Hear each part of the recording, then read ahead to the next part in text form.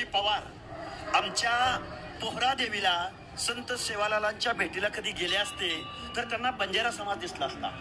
ते कधी आरेवाडीच्या बिरोबाला गेले असते तर मेंढपाळ बांधव दिसला असता. ते कधी भगवानगडावर गेले असते तर त्यांना वंजारी बांधवाची काय परिस्थिती ही दिसली असती. ते कधी जेजुरीच्या खंडोबाला किंवा मालेगावच्या खंडोबाला गेले असते तरी इथल्या विमुक्त जाती इथले बलुतेदार अलुतेदार. आणि महाराष्ट्र कुणाचं आहे? महाराष्ट्रामध्ये कोण राहतं नक्की?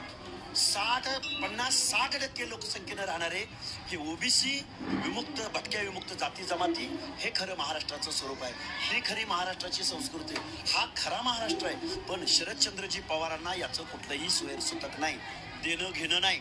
निवडणुका जिंकणं कारखानं काढणं पाहुण्या रावळ्यांना आमदार खासदार मंत्री करणं पाहुण्या रावळ्यांना कारखानं वाटणं आणि परत सरदार वतनदार चोरांच्या आणि दरोडेखोर दर- दरोडेखोरांच्या टोळीचं नेतृत्व करणं आणि मुख्यमंत्री पदावर बसणं याच्या पलीकडे ना शरदचंद्रजी पवारांना जाणता राजा. कशासाठी म्हणायचं जा- शरद पवारांना जाणता राजा. छत्रपती शिवाजी महाराजांना रयत कळत होती. पण शरदचंद्रजी पवारांना इथला ओबीसी कळत नाही सामाजिक मागास कळत नाही आणि जरांगे पाटलांनी आंदोलन उभं केलं म्हणून काल एका ते जाहीर सभेत बोलले. त्यांना महात्मा म्हणले त्या जरांगे पाटलांना. म्हणजे त्यांना त्याचं कोड कौतुक केलं या शरदचंद्रजी पवारांनी. पण आमच्या विमुक्त जाती जमाती ज्या बाबासाहेबांनी आम्हाला तीनशे चाळीसाव्या कलमान्वये जे ओबीसीचं रिझर्वेशन दिलंय ते आज संपल्याच जमाय आणि शरदचंद्रजी पवार नावाचा जाणता राजा बोलायला तयार नाही. आता मला सांगा